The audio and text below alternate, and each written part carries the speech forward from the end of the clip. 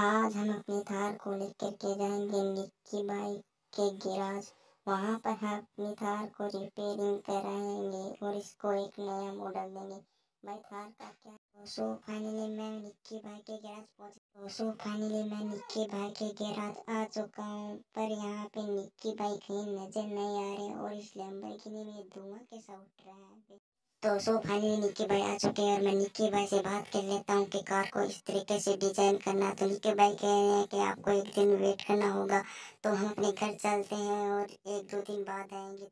तो फाइनली हम आ चुके हैं निक्की भाई के गैराज में अपनी कार को लेने के लिए। यहाँ पर कार के अलावा फॉर्चुनर और लेम्बोर्गिनी जैसी कारें भी हैं। तो चलो चलते हैं हम अपनी कार को लेकर के अपने तोफानी निक्केबानी थार का डिज़ाइन और कलर दोनों ही चेंज कर दिया। वास्तव में हमारी थार बहुत ही